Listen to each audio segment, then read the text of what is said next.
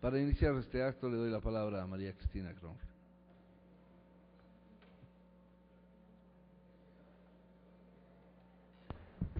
Más adelante.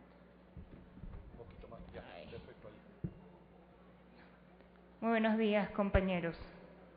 Gracias, señor presidente. Hace pocos años inauguramos en nuestro país la historia de triunfos y reconocimientos a las personas con discapacidad, donde el concepto de persona ha superado a la misma discapacidad.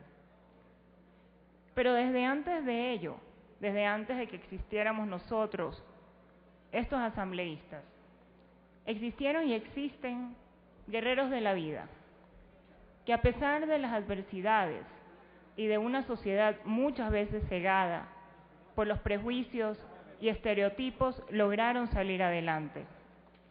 Hoy nos acompañan cuatro personajes con discapacidad. Denise, Fernando, Rodney y Dani Daniel. Con discapacidad intelectual, física, auditiva y visual respectivamente. Quienes desde el principio robaron mi corazón, amigos míos. Por ser ejemplos de tenacidad, paciencia, entusiasmo, lucha y entrega. Portadores de ese amor envidiable por la vida. Capaces ellos de reconocerse a sí mismos supremamente capaces y saberse triunfadores de cada uno, cada uno de ellos desde su trinchera y desde su espacio en nuestro país y en esta vida. Estoy segura que las personas con discapacidad tenemos grandes representantes que han convertido el tener una discapacidad en la oportunidad de demostrarle al mundo entero cuán equivocado está al rendirse y derrotarse frente a los obstáculos de la vida. Lo que Denise, Fernando, Rodney y Dani Daniel nos entregan a todo un país, más allá de su ejemplo artístico, es la certeza de que siempre hay la posibilidad de ser mejores, siempre hay la posibilidad de superarnos a nosotros mismos. Es por ello, y porque no se rindieron nunca, que se hacen merecedores, ellos, de este reconocimiento sincero por parte de la Asamblea Nacional del Ecuador, a su talento humano y artístico.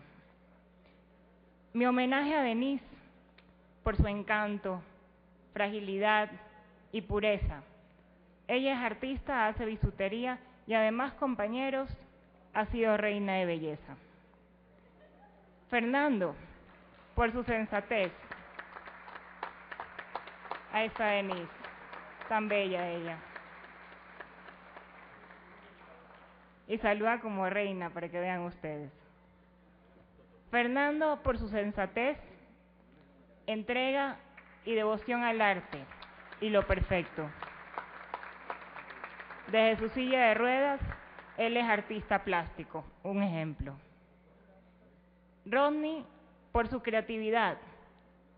A él le vamos a aplaudir como se aplauden a las personas con discapacidad intelectual, alzando las manos y moviendo las palmas, ¿sí? Rodney, por su creatividad cautivadora, emprendimiento y amor profundo a su familia. Admirable. Él es caricaturista, pintor y además tallador de madera. Él nos hará una caricatura del Pleno de la Asamblea Nacional para que vean ustedes el talento que tiene. Dani Daniel, por su vitalidad. Adelante, Dani.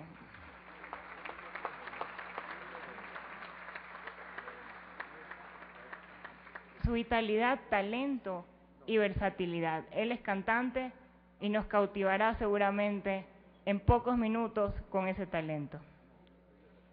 Mi infinito agradecimiento a ustedes, amigos míos, compañeros.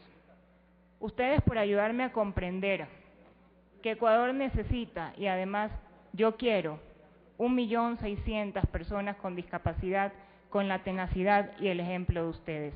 Gracias, compañeros.